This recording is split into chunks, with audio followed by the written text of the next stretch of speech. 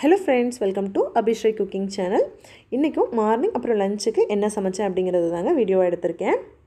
எப்போவுமே கிச்சனுக்குள்ளே வந்ததுமே ஃபஸ்ட்டு அரிசி ஊற வச்சுட்டா தாங்க டைம் கரெக்டாக இருக்கும். அரிசி ஊற வச்சதுக்கப்புறமா சத்து மாவு கஞ்சி ரெடி பண்ணிடுவேன் ஆல்ரெடி சத்து மாவு கஞ்சி எப்படி ரெடி பண்ணுறங்கிறத தனி வீடியோவாகவே போட்டிருக்குங்க. வேணும்னா நம்மளோட சேனலில் இருக்குது செக் பண்ணி பாருங்கள் சத்து மாவு கஞ்சி ரெடி பண்ணதுக்கப்புறமா உருளைக்கிழங்கு மசாலாவுக்கு உருளைக்கிழங்கு கட் பண்ணி குக்கரில் வேக வச்சுக்கலாங்க. இன்றைக்கி உருளைக்கிழங்கு மசாலாவுக்கு சப்பாத்தியும் சாப்பாட்டுக்கு கத்திரிக்காய் பொரியலும் ரசமும் செய்யலான் இருக்கிறேங்க. அடுத்து உருளைக்கிழங்கு வேக வச்சதுக்கப்புறமா சப்பாத்திக்கு மாவு பிசைஞ்சிக்கலாங்க. இன்றைக்கி கோதுமை மாவு கூட கொஞ்சமாக ராகி மாவு சேர்த்து ராகி சப்பாத்தி மாதிரி செய்யலாம் அப்படின்னு சொல்லிட்டு ரெடி பண்ணியிருந்தேன். ராகி சப்பாத்தி சூடாக இருக்கும்போது என்னவோ நல்லா தாங்க இருந்தது. ஆறுனதுக்கப்புறமா கொஞ்சம் பிக்க முடியாத மாதிரி ஆயிடுச்சு. நீங்கள் உடனே செஞ்சதும் சாப்பிட்றீங்கன்னா நல்லா தாங்க இருக்கும். இப்போ இதை எண்ணெய் தடவி மூடி வச்சுட்டு அடுத்து நைட்டே இட்லிக்கு மாவு அரைச்சி வச்சுருந்தேங்க. அதுவும் புளிச்சு நல்லா வந்துருச்சு.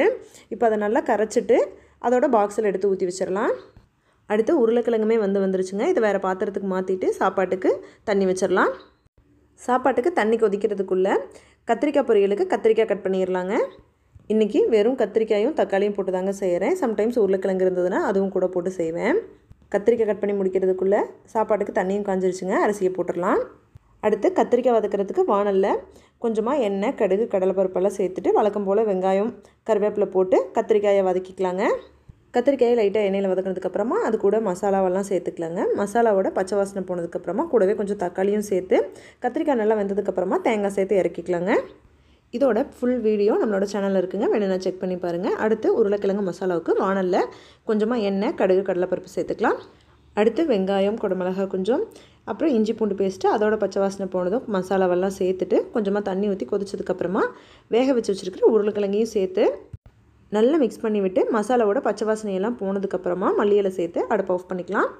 இந்த உருளைக்கிழங்கு மசாலாவோட வீடியோவும் நம்மளோட சேனலில் அப்லோட் பண்ணியிருக்கேங்க. வேணும்னா செக் பண்ணி பாருங்கள் அடுத்து ரசம் வச்சிடலான்ட்டு வானலில் கொஞ்சமாக எண்ணெய் கடுகு சேர்த்துட்டு இடித்து வச்சுருக்கிற சீரகம் பூண்டு மிளகு இதை சேர்த்துட்டு கரைச்சி வச்சுருக்கிற தக்காளி புளி தண்ணியை சேர்த்துக்கலாங்க.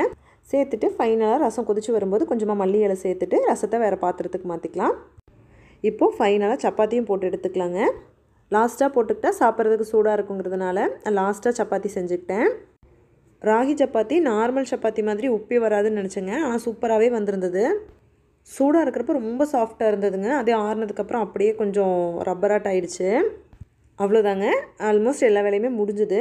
இப்போ வாங்க என்னென்ன சமைச்சிருக்கேன்னு பார்க்கலாம்.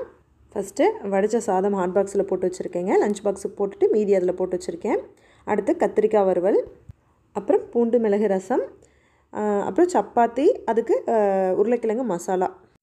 அவ்வளோதாங்க இன்றைக்கி இது தாங்க சமையல். டெய்லி என்னடா சமைக்கிறதுன்னு யோசிக்கிறவங்களுக்காக தாங்க இந்த வீடியோ. பார்த்துட்டு எப்படி இருந்துச்சுன்னு கமெண்ட்ஸில் சொல்லுங்கள் தேங்க்யூ